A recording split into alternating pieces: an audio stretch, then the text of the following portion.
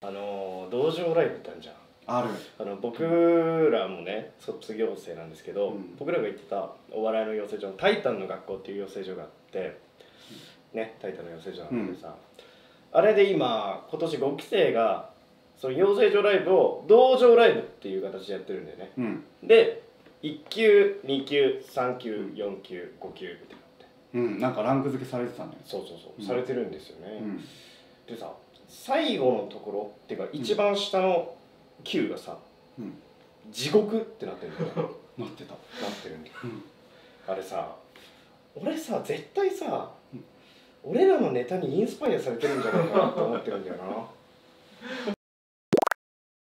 ああパクられたってこと？そうそうそう。端的に言うと。だって道場ライブで1級2級3級4級5級ってあってうん。地獄で。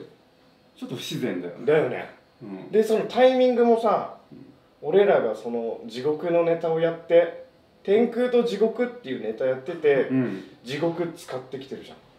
で多分パクってないって言うだろうけど多分やっぱこう頭の中にこびりついてて そう地獄を使っちゃってるんじゃないかなって思うんだよね。脳裏に残ってたと。そうそうそうそうそ 何かしら。ううん。だって1級2級3級4級5級。地獄いや来ないと思うんだよな。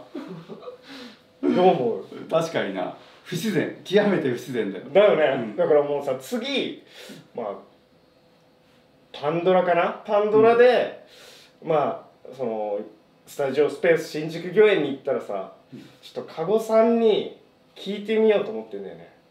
確認しよう。まあ違うって言うだろうけどね